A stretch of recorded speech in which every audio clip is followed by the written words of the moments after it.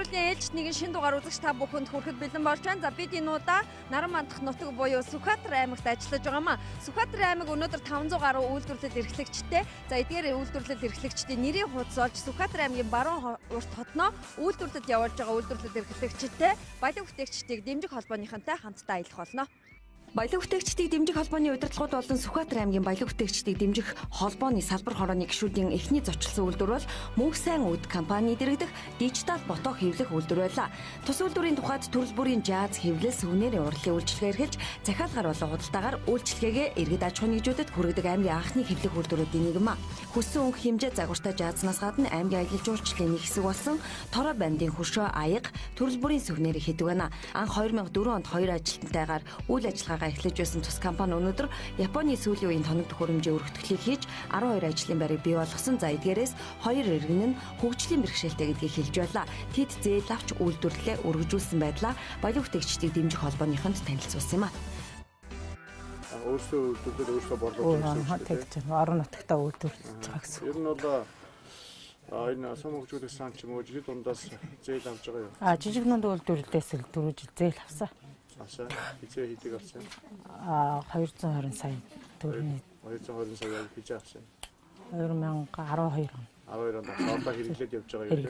Аа үр дүн хэрэг алж байна. Үр дүн боломжийн бид нар чи бас ажлын байргүй байсан өөртөө анх хоёрын түрээсийн байранд үйл ажиллагаа эхэлжсэн бол 12 оноос эхлээд ажлын байр өөрийн гэсэн одоо ажлын байранд үйл ажиллагаа тогтмол эхлээд одоо сумдын 13 сумтай шүү дээ сум бүртэй харилцагчтай үйл ажиллагаа бол жигд явж байгаа.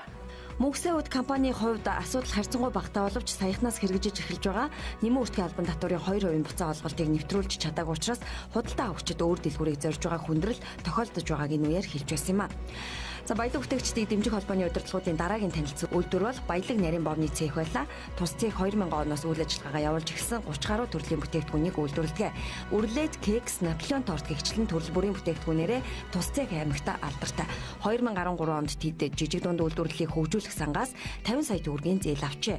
Үдийн цай хөтөлбөр сургуулиудад бүтээгдэхүүнээ нийлүүлдэг бөгөөд хэрэглэгчдийг татахын тулд байнга шин шинэлэг бүтээгдэхүүн хийх ёстой гэсэн зорилгыг урдаа тавьсан байна бүтээгдэхүүнээ бол өдөр болгон манах шин гаргадаг. Энэ нэг аваад сурцсан хэрэглэгч нь маань бүр аваад сурцсан манах чи 13 дахь жилдээ үйл ажиллагаа явж байгаа. Бараг найдвартай бараг нөгөө цех болсон түнш мүш чи зөндөө байгаа. Наа шиг ийм цехийн аймагт нэр олон байна. Манайх ч одоо 3 байгаа хаа. Тэ. За за ямар ч үсэн жижиг дундыг дэмжих сангаас 50 сая аваад эзлийн байраа ажлын байраа шинжилсэн. Шинжилж өргөсөн байх тийм ээ. Таад хөрөмжөө шинжилж чадуу. За хагас хогсын л шатсан да. Баялаг нарийн бовны цех 13 ажлын байртай аймгийн нарийн бовны хэрэгцээний 70-80%-ийг хангаж 5 дэлгүүрт нийлүүлэлт хийдэг. Эдийн засаг хэдий хямарч байгаа ч тэдний хувьд чанартай бүтээгдэхүүн үйлдвэрлээд байвал бэрхшээл харьцангуй бага, борлуулалт сайтай, харин ирээдүйд илүү том ажлын байр зэрэгэлдээ аймагуудад нийлүүлэлт хийх өөдрөг мөрөөдөлтөөр ажиллаж байна. Баялаг бүтээгчдийг дэмжих холбооныхоо үргэлжлээд баруун урт хотын Саран чулуу ундрах компани үйлчлэл ойдлын цэгээр зочлоо. 1999 оноос ойдлын салбарт хөгжүүлж байгаа шархуу хунгаа давтагдшгүй загвараар цэвэрхэн ойдл хийхэд илүү анхаарч мөн шавь сургалт явуулж үйл ажиллагаагаа явуулснаар өнөөдрийн амжилтанд хүрснээ хуучилж байсан юм а. 2008 оноос ойдлын цэх үйл ажиллагаагаа үргэлжлүүлэн 2 өрөө байр барьсан байна. Мөн дөрвөн ойдлчин сургаж ажлын байраар хангасны хоёр нь мөн л хөгжлийн бэрхшээлтэй иргэн байгаамаа. Гэлээгээд ойдлыг чанарын өндөр түвшинд л хийх зорилтыг эдний их тавьж байна.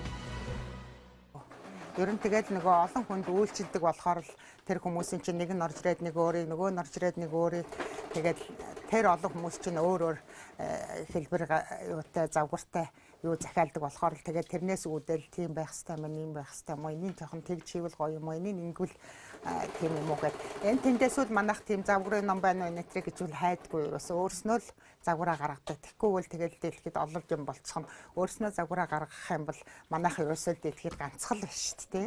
Тий. Тэгж хийдэг. Манайх тэгээд нийтдээ нэг ер нь ингээд тоосоогоо нэг гаргаж үзсэн л дээ. Бид ихт нэг 180 хэдэн төрлийн юм байдаг юм байлээ бүтээгдэхүүн байдаг юм лээ. Тэгээд бас хажуугаар нэг гэрийн бүрээс мөрөөс гэрийн хөшиг тэгэл энэ Монголын хэрэглээний бүхэл юмыг оё шүү дээ тий. Саран чулуун ундрах компани аймагт 11 удаа зүүн бүсэд 3 удаа шилтгэр шалгарч байсан амжилттай. Тэд үзэсгэлэн худалдаа экспод байнга идэвхтэй оролцдог бөгөөд бичгтийн бомбын 2 жилийн арга хэмжээнд үндэсний хувцсны салбараа төлөөлө оролцож экспортын нэг боломж байгааг олж харжээ. Мөн аймгийн болон сумдын ойгоор иргэдийн гоёлыг бэлтгэх чухал ажлыг тэд гүйцэтгэдэг. Өнөөдрийг хүртэл зээл аваагүй бор зүрхээрээ хөрөнгө оруулалт хийсэн шархуу хуваа балив бүтээгчдийг дэмжих холбооны үйл ажиллагааг бүрэн дэмждэг бөгөөд цаашид хамтран ажиллах болно гэдгээ энэ үеэр хэлж байсан юм а.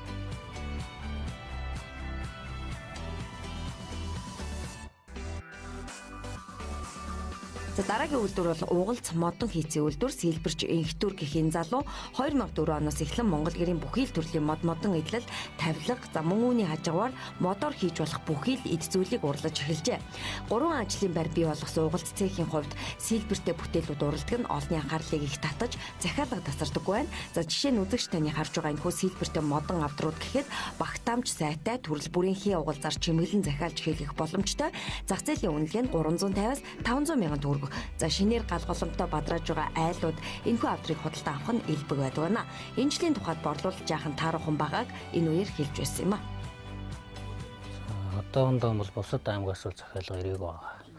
Юу борлуулалтын тал дээр бол урд өмнө бол сайн байсан. Гэрийн тавилга, голдуу, түлхүү хэрэгжилж ирсэн. Энэ намраас бол жоо мууцсан. Тэгтээ юм бол бүрвэл тасралтгүй тасрахгүй баг зэрэг бол захиалга залгуудад ирчлээ. Ер нь бол муутсаа муутчаал. Тус цэхийн жижиг дунд үйлдвэрлэлийг хөгжүүлэх сангаас 40 сая төгрөгийн зээл авч тоног төхөөрөмжөөр шинжилснээр хүчин чадлаа илүү нэмэгдүүлжээ. Одоо нэг асуудал бол аж ахуйн нэгж болж аль биесээр бүртгүүлэг байгаа учраас халаалт дулааны зардал гэрчлэнгээр бүхий л урсгал зардлууд аж ахуйн нэгжийнхээр тооцогдож байгаа нь хүндрэлтэй байгааг уламжлахыг хүссэн юм а. Миний өмнө яг маргааш шинхэн хэрэглэгч одоо хэрэглэгчтэй очих гэж байгаа шинхэн бүхэл үрийн гурлаар хийсэн юм талхнууд байж байна. За энэ талхны хувьд бол Сүхбаатар аймгийн төв баруун урт хотноо 800 төгрөгөөр худалдаадагддаг ийм талх нарийн бов талх байгаамаа. Тэгэхээр тус шарга талх нарийн бовны цех маань Дорнод гурил компанийнхаа дотоодын үйлдвэрлэлийн гурилыг дэмжиж бүтээгдэхүүнүүдэд үйлдвэрлэдэг. За энэ үйлдвэрийн эзний хувьд бол борлуулалт болон үйлдвэрлэлийн тухайд тоног төхөөрөмжийн шинжилгээг хийсэн ч гэсэн өөр бас зовлон бэрхшээл бэрхшээлүүд байна гэдгийг баялаг бүтээгчдийг дэмжих холбооны ерөнхийлөгчд уулзах үеэрээ хэлж байсан юм а. Шарга нарийн боовны цехийнх нь 50-аас 60 оны цэцэрлэгийн барилгыг худалдан авч өөрсдийнхөө тохижуулан нарийн боовны цехийн үйл ажиллагаагаа явуулдаг. За хэдийгээр мэрэгжлийн байгууллагуудаас тавьсан шаардлагыг хангахаар хичээдэгч барилгын хувьд зориултыг биш болохоор асуудал бэрхшээл үүсдэг байна. Манай хол юу байдгийг яг нарийн бовл ингээд дагнж хийдгээ талхаараа дагндаг. Аа тэгээд сар шинэ болонгууд манайх бол одоо 8 гаашаар яг брэнд бүтээгдэхүүн нарийн хэвэн бовороо манайх дагнж хийдэг. Тэгээ зах зээлийнхаа бараг 80. А энэ болох дээр дандаа буруу талах технологиор хийж байгаа дандаа гар ажиллагаатай. За 2004 оноос ажиллаж эхэлсэн тус цэг өнөөдөр 16 хүнийг ажлын байраар хангадаг. Жилдээ 200-аас 300 тонн дотоодын гурилаар бүтээгдэхүүн үйлдвэрлэдэг. Сахар амтлагчаас бүхий л түүхийдээ дотоодосоо бэлтгэдэг байна. Тус цехийн уяг талхны брэнд олонний танил бөгөөд 7-оос 8 төрлийн бов, 4 төрлийн талхыг хэрэглэгчдэд хүргэж байна. Эх орны бүтээгдэхүүнээр хийсэн амт чанарлаг талх нарийн бовоо цаашд илүү их борлуулах аймгийн зах зээлийг хамгаалуулах хүсэлт энэ цехийнхэнд байгаа юм билээ. Сүхбаатар аймгийн тухайд гар урлал хийцээрээ эртнээс алдартай. Дайр ганг хийцийн алт мөнгөний эдлээс гадна арьс ширээр бүтээл хийх урлалын цехүүд энэ аймагт мөн л бусдын адил хөгжиж байна. Бодлого бүтээгчдийг дэмжих холбооныхын энуудад Баян шар гар урлалын цехээр зочлоо. 2013 оноос үйл ажиллагаагаа эхэлсэн тус цехийнхэн анх гэрээрээ бүтээл хийж үзэсгэлэнгүүдэд оролцож иргэдэд танигдсан улам ихийг хийж бүтээх урам зориг авч байжээ. Сум хөгжүүлэх сангаас 20 сая төгрөгийн зээл авч тоног төхөөрөмжтэй болсноор тэд өнөөдөр төрөл бүрийн логотой хэмжээ хийцийн арьс ширэн эдлүүдийг гар аргаар хийж байна. Цүнх бүс төрөвч гутлын төрийг түлхүүрийн осор гэгчлэнгээр 20 орчим нэр төрлийн бүтээгдэхүүнийг эднийх үйлдвэрлэдэг. Одоо тулгамдсаж байгаа асуудал бол энэ жидүүлэл борлуулалт тул эрс бурс. А дээрэс нь бид нар нөгөө сая ингээд дэлгүүрүүдэд ингээд тавиад шууд тавиад яадаг гэсэн бол одоо нөгөө нүүтийн хууль гарсантай холбогдуулаад бид нар жижиг юмнуудаас нөгөө олон газар тавихаар нөгөө нүүтийн татвар гэж нэхэгдээд тэгээд тэрнээсээ бодоод зарим нь бас биднээс нөгөө авах дурггүй бас дэлгүүрүүд Баян шарга цэх өөрийн гэсэн байргуу түрээсийн байранд үйл ажиллагаа явуулдаг. Ирээдүйд өөрийн байртай Сүхбаатарын нэрээр Монголдо танигдсан цех болох зорилтыг тэд тавьж байна. Энэ цехийнхэн баялаг бүтээгчдийг дэмжих холбооны аймаг дахь анхдугаар зөвлөгөөний үеэр холбоонд элсэж идэвхтэй гишүүн цехүүдийн нэг болсон байна.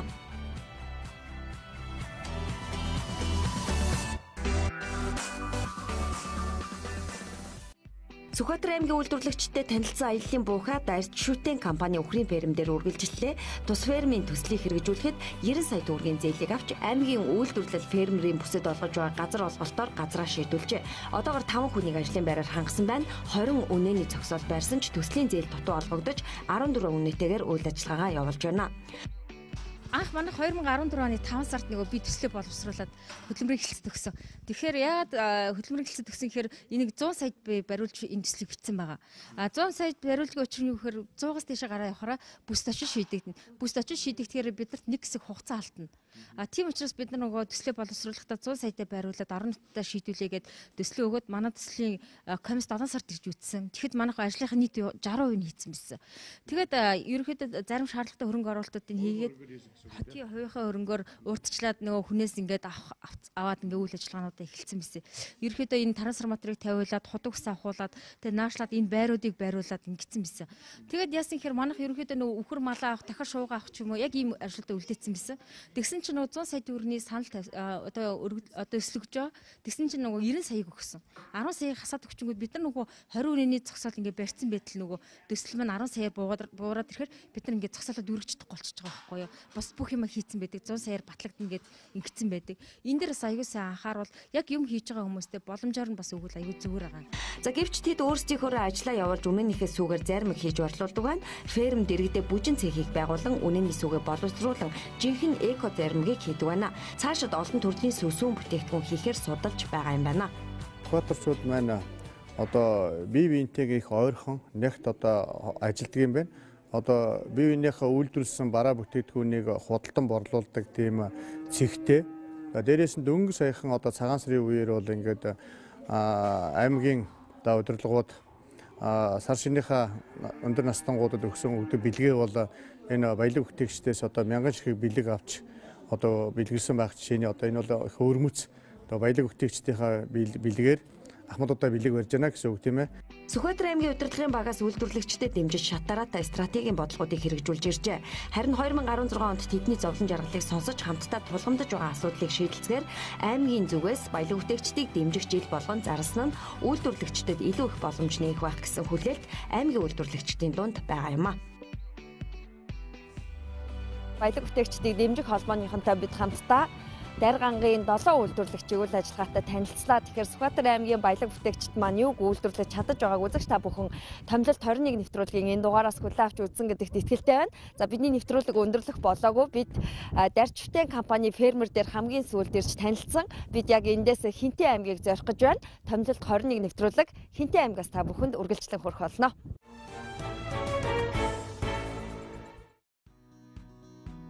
Хинтээ аймагт хамгийн анх танилцсан үйлдвэр бол дурсамж студ байлаа. Аймагта хамгийн том нь гэж хэлж болох тус студ жаз бэлэг дурсгал бичих хэрэг хэвлэлийн бүх төрлийн үйлчлэгээ эрхэлдэг байна. 2008 оноос хойш өнөөдрийн хүртэл 5 ажлын байрыг бий болгож шил, даавуу, чулуун дээр хэвлэх бүтээлүүдийг түлхүү үйлдвэрлэн хэрэглэгчдэд хүргэж байна. Дурсамж студ 15 сая төгрөгийн бизнесийн зээлтэй бизнесийн зээлийн хүү өндөр бөгөөд цаашдаа хөнгөлөлттэйгээр олгогддог төсөл хөтөлбөрүүдийн зээлүүдэд хамрагдаж тоног төхөөрөмжөө илүү ихээр шинчлэхийг хүсэж байгаагаа энэ үеэр хэлж байсан юм а. Өвлийн аймгийн байгууллагууд бол танахаас аа захиалдаг уу? Ер нь ихээхэн шүү. Яг нь хэдэн жил болж байгаа? Манайх 7 жил болж байна. 8 жилд орж байна тий. Зээл хаанаас зээл авдаг гэдэг? Хас банкнаас. Хэдэн жил хэдэн жил зээл авч байгаа? Ер нь бол анх эхлэхдээ л авсан. Одоо авчлаа. Бараг 8 жил мэл. 8 жил асуултгүй хас банкаар өөрчлөлж байна. Жилийн 25% бүрдээ тийм ээ. Тэгэхээр жижиг дундын бол 9% байна. Сум хөгжил сангийн дээд нь 3% байна. Ер нь бол жоохон мэдээлэл байгаагүй маа энэ жилээс харин мэддэг болсон. Тэгээ саяхан нэг бичиг баримтаа бүрдүүлсэн чинь хоцорсон байсан. Одоо тэгээ та ажлын байр нэмэгдүүлэх үйл ажиллагаа өргөдөх чиглэлээр зээл бол одоо боломжтой биш танад байна. Хөдөлмөрлөлтийг дэмжих сангийн зээл хэлцээд амьсгалж байгаа. Хөдөлмөрийн хэлцээ тэр хөдөлмөр бизнес хүмүүсээр хамаардаг. Ер нь бол одоо нэг жоохон тоног төхөөрөмжөө өөрчлөл, жоохон ажлын байраа томруулчихвал юм бол ер нь хийх ажил их байдаг. Тий. 10 төрлөөр үйлчлэгээ явуулдаг тус цэхийг нийтийн орон сууцны подвалд үйл ажиллагаагаа явуулдаг. Зээлийн болон борлуулалтын боломж нэмэгдвэл ирээдүйд ажлын байраа өргөтгөн шинжлэх зорилтыг тавьж байна. Баялаг бүтээгчдийг дэмжих холбооны Хинтээ аймгийн анхны гишүүн байгууллагуудын нэг тул цаашид аймаг дахь баялаг бүтээгчдийг дэмжих холбоогоор дамжуулан асуудлуудаа төр захиргааны байгууллагуудаа уламжлах боломжтойг энэ үеэр ярилцсан юм а. Хинтээ аймгийн хэмжээнд хэрэглэгчдийг чанартай бүтээгдэхүүнээр хангаж байгаа дараагийн үйлдвэр бол гэрэлт хэрлэн компани дэргэдэг хан эрдэнэ хямны цех юм а. 2008 оноос үйл ажиллагаагаа явуулсан тус цехийн тухайд 1980-ад онд ажиллаж байсан зарим нэг тоног төхөөрөмжийг орчин үеийн тоног төхөөрөмжтэй хослуулан үйлдвэрлэлээ эрхэлж байна. Үхэр, хонь, адуу, гахай, дахиа, ямааны махар нийт 6-аас 7 төрлийн махан бүтээгдэхүүн үйлдвэрлэдэг тус цехийн нэг хоногийн хүчин чадал 500-аас 800 кг боловч за одоогоор хоногтой 100 кг хямыг үйлдвэрлэж борлуулалтаа 100% хийж байна шар урцгны махта тэгээд химийн нэмэлт бүтээгдэхүүнтэй юм чинь яг хэдэр чигээрэл байгаа нь хууралд өгөхгүй шүү дээ. А манай бүтээгдэхүүн бол 7 хоноод 4 5 хоноод нөгөө махын юм чинь өөрчлөлт ордог. Тийм тэрийг бас яг цэвэр мах учраас. Тийм махаараа байгаа. Нөгөөдөр чинь бол одоо жоохон бордооны юм яваад шүү дээ. А нөгөө шар урцгны одоо нөгөө нэмэлт хийж байгаа шүү дээ. Тоолж хийж байгаа тийм. Хан Эрдэнэ Хяман цех аймгийнхаа хямны хэрэгцээний 70 орчим хувийг дангаараа хангаж Сүхбаатар аймгийн зарим сумдад болон Хинтээ аймгийн сумдад өөрсдийн машинаар түгэлтгээдэг. Эднийх хас банкнаас жилийн 28% хүүтэй бизнесийн зээл авчээ.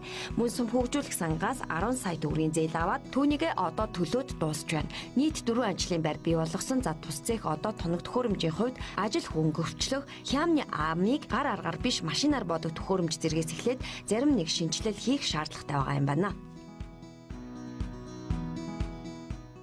Хинтээ аймаг тавилгын нэгэн шинэ үйлдвэртэй болжээ. Өөрөөр хэлбэл нийслэлд ажиллаж байсан тавилга хийдэг гэр бүл нутагта иргэн очиж сууршаад захиалагч тавилгын цехийг ажилуулж эхэлсэн байна. Тэд 30 сая төгрөгийн хөрөнгө оруулалтыг өөрсдөө шийдэж ажилтнуудаа сургаж ажилуулжээ. Бид нар бас хинтээ аймагт ирж ажиллахаас өмнө Улаанбаатар хотод 100 айл бэлэн хөтөл тоглоом төвлөрөл өөрсдөө тавилга хийдэг байсан. Гэхдээ салбарлаж хийдэг байсан. Одоо хүний доор гэдэг юм ямар нэг байдлаар хүнд ажилтдаг байсан байхгүй. Тэгээ бид нар өөрсдөө орон нутгад салбарлах санаа нэг гаргаад тэгээ тастаа гараад би хөндлөлтөй болоод маш харсан. болоод тэгээд орон нутгаар хөрөнгө оруулалт хийж орж иж шүү дээ. Тэгээд чинь дохон орон нутг чинь одоо сайн дэмжих хэрэгтэй. Жишээл өөрөө бол хэдэн хүнийг ажлын байраа хангаж байна. Тогтмол 3 хүн ажлын байртай. Дээрээс нь баяр ёслолын амралтын өдрөөр ч гэдэг юм уу. Одоо захиалга ихтэй үед бол гэрээний хоёр ажилласан одоо. Тий. Тэгээ цагаан сар энэ төр ч юм уу юм хүмүүссэн шүү дээ. Захиалга гэсэн тийм. Ихсэн. Тэр үед хүмүүс нэмээд авчихсан. Тий, гэрээд хоёр ажилласан байдаг. Аймгаас үйлдвэрлэгчдэд дэмжихийн тулд зах зээлийг нь хамгаалж ижил төстэй үйлдвэрүүдийг олныг байгуулахыг бодлохоор зохицуулан босго тавих хэрэгтэй. Хэрвээ ингэж чадвал захиалагт тавилгын цэглэхэд удахгүй хинтижүүдээс гадна мод багтаа зэргэлдэх Сүхбаатар аймгийгч хангаж болохгүй цагааг баялаг бүтээгчдийг дэмжих холбооны ерөнхийлөгч уулзалтынхаа үеэр онцолж байсан юм а.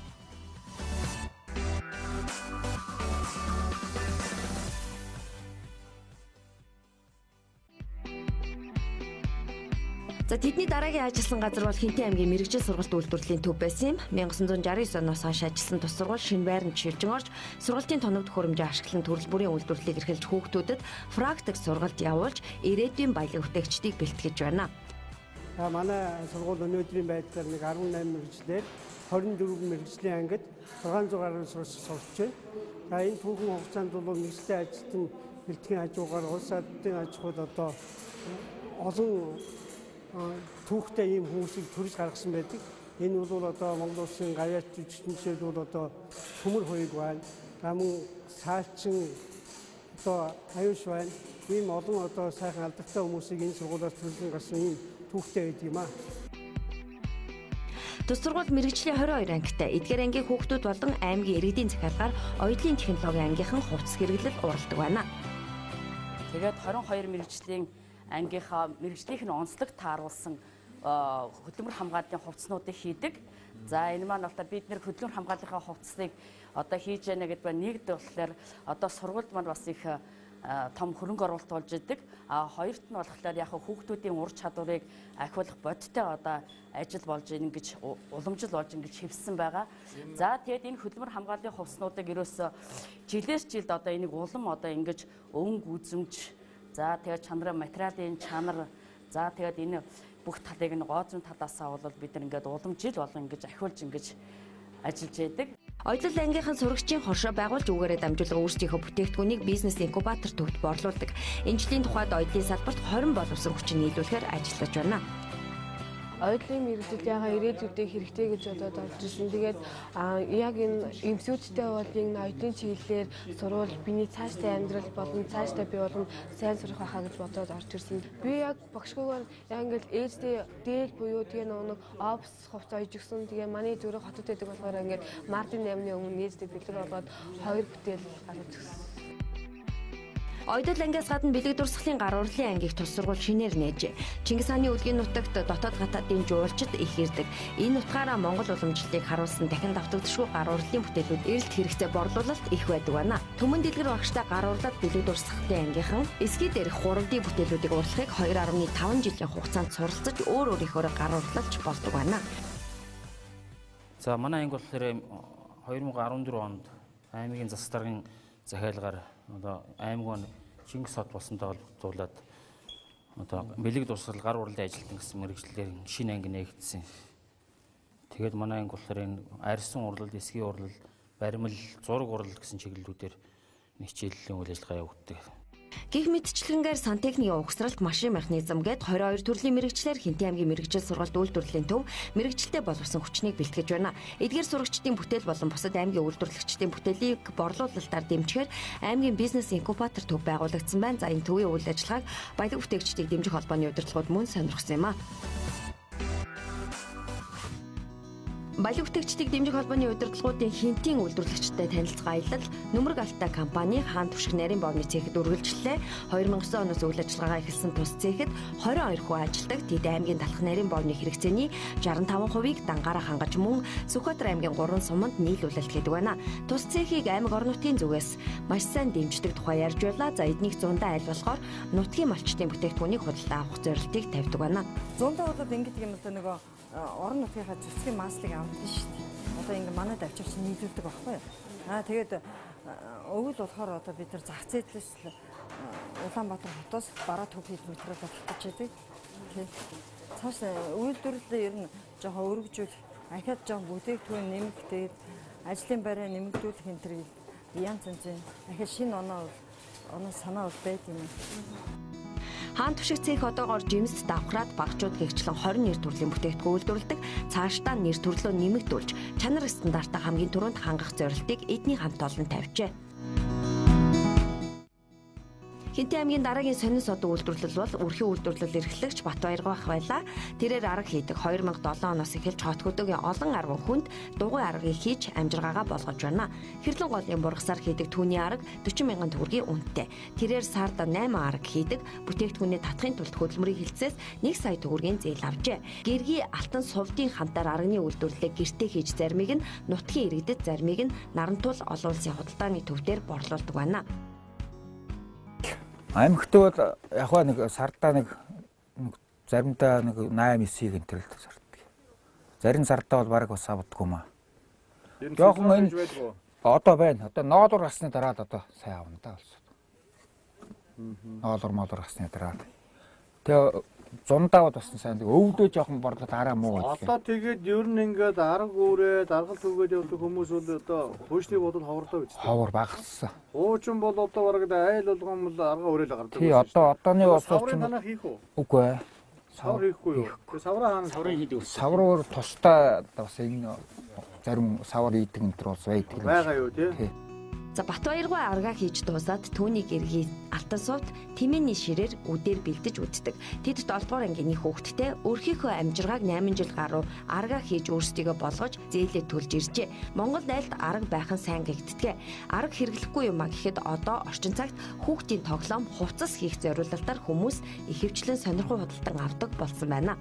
За харин баялаг бүтээгчдийг дэмжих холбооны ерөнхийлөгчийн тухайд цаашдаа хэлбэр хэмжээгээ өөрчилж сувнэрийн зориулалттай болгох олон төрлөөр бизнесээ өргөжүүлэх боломж байгааг тэдэнд зөвлөсөн юм а.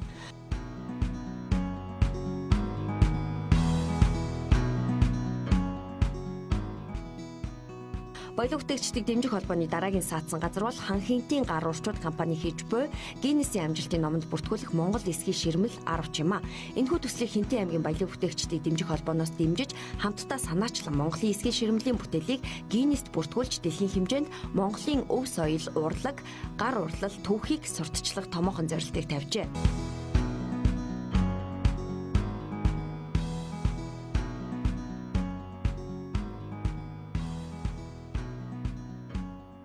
Тэгээ анх үтээр энэ санаагаа гаргаад ингээд гар зурга бариа явж хагаад аймгийнхаа баялаг бүтээгчдийн холбоотой уулзаж ярилцаад бид тэр нэг юм хиймээр байна гэсэн чинь болно бүтэн бид нар дэмжинэ гэд бид хэдийг одоо хамтарч ажиллаад одоо ингээд ажил маань сайхан жигдрээд явж байгаа тийм. Тэгээ Эрдэнэт үйлдвэрийнхээ энэ эсхийг нийлүүлж байгаа юу? Энэ эсхийг болохоор бид хоёр нүүд Эрдэнэт үйлдвэрийн дээр очиод биеэрээ очиод захиалга өгөөд Тэгээ одоо тэр захиалгын манжуур айгүй гоё үйлдвэрээсээ цаанаасаа бүр гоё эсгий ирсэн байгаа. Энийг одоо ингээд урлагийн бүтээл болгоно гэсэн зорилготой. Тэрийг одоо хаана яаж хадгалах уу, яаж үзүүлэх үү, ард түмэнд яаж таних. Одоо энийг тэр зорилго нь болохоор энэ өмнөд тавьж байгаа зорилго болохоор 24 хамттай гэрт яг тойроод 100 м таарна. Тэгээд тэгээ энийг энэ дээрээ тулгуурлаад тэгэл 24 хамттай гэр барьж тэгэл олонний үртэл олгож байнга байлгана гэсэн зорилттой. Генес хүсэлтээ өгсөн үү? Генст хүсэл хүсэлтээ өгөө байгаа. Бид хэд болохоор яг генстийг болохоор судалсан. Тэгээ генст яг ийм урттай ийм гар урал ийм ширмэл хэсгийн ширмэлүүл байдаг юм бэл. Энэхүү эсхийн ширмэлийн бүтээл зураач нэргүй найзууд болон эрдэм шинжилгээний ажилтнууд мөн зөвлөгөө өгч хамтдаа судалгаа хийж байгаа юм байна. Ноён уул болон бусад аймагуудаас олдсон буган чулууны агуйн 600 гаруй сүг зураг 10-чны хоёр талын чимэглэлд орж байна. Мөн нууц товчооны 10 бүлгийг багтааж түүхчлэн зургаар зурж ойдлоор харуулахыг зоржээ. Эсхий дээрх арилдаггүй зориулалтын будгаар өнгө нэмсэн нь энэхүү бүтээлийг илүү үзэмжтэй болгосон байна. Одоо Тэмүүзинг гэрт нь үлдээгээд Исүхбаатар маань одоо буцаж яваад энэ татааруудын найран дээр таарсан байгаа. Найран дээр таарахтан татаарууд одоо Исүхбаатарт хор өгч одоо хорлсон байдаг. Тэгээ яг хорлсон тэр татааруудад хорлогдоод яг ингээ буцаж яваа дээр энэ 10 м маань төгссөн байгаа. Тэр үеийн бас ардлаар нь бид нэр болохоор тэр найр наадам болж исэн гэдэг утгаар араар нь гүү сааж байгаа адуу малаа яаж байгаа тэр гэдгээр бас орж байгаа мөрж байгаа бүгд орсон биш тий одоо энэ баялаг үтэжтэй маань холбоон дараа энэ 90 товч гэж хүн байна. Албиа гэж юм байна. Эднэр бас зөөвлөдөг бид нар хоорондоо юу хийх вэ яах вэ? Одоо очоо нэг тэгмээр байна нэг бахаа гэж тий бид дандаа хоорондоо зөөвлөж одоо өдөр шөнөгөл ажилладаг да энэ хоёр манд байнга цаг байдаг. Гиннесийн номонд байдаггүй төрөл болох гар урлал за тэр дундаа эсхий дээрх урлалын төрлөөр Монгол улс анх удаа бас бүтээл бүртгүүлэх гэж байна. За энэ бүтээлийг хинтичүүд санаачлан яг одоо үйлдвэрлэлээ эрхэлж байгаа байдал дээр бид ирээд байгаамаа. Тэгэхээр энэ бүтээлд хувь нэмрээ оруулахаар бас иргэд өөр өөрсдийнхөө өдөр өдрөөр ирж одоо оёдл эсгүүрт оролцож байгаа ийм байдлыг бид сурвалжлан хүргэх гэж байгаа юм. За таны хувьд яг хэдэн жил оёдлчин хийсэн бэ? Одоо энэ бүтээлд та ямар мэдээллийг авч оролцож байгаа вэ? За би аялал хийгээд 1998 оноос эхэлж аялал хийсэн. Хинтээ аймгийн Баян сумд амьдардаг.